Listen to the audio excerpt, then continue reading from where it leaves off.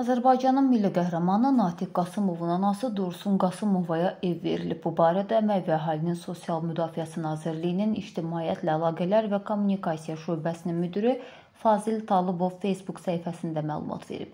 Stat: Bu gün Əmək və Əhalinin Sosial Müdafiəsi Nazirliyi tərəfindən şəhid milli qəhrəman Natiq Qasımovun anası Dursun Qasımovaya Gəncə şəhərində yerləşən Mida yaşayış kompleksindən 2 otaqlı tam təmirli mənzil təqdim edilib.